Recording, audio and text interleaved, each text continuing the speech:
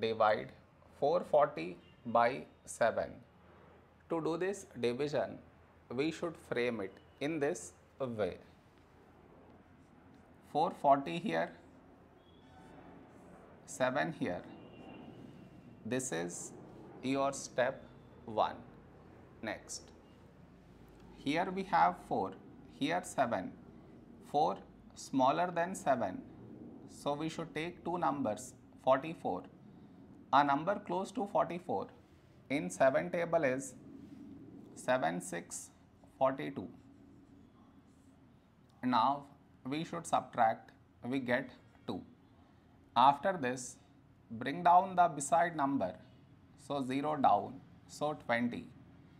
A number close to 20 in 7 table is 7 twos 14.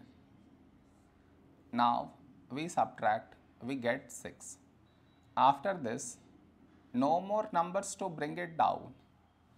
So what we do is we put dot take 0. So 60.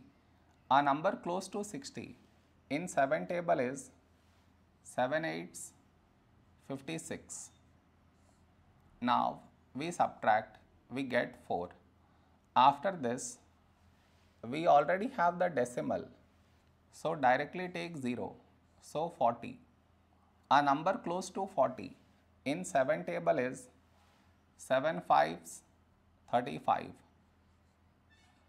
Now we subtract, we get 5 and you continue the division. It is enough if we do up to 2 decimal places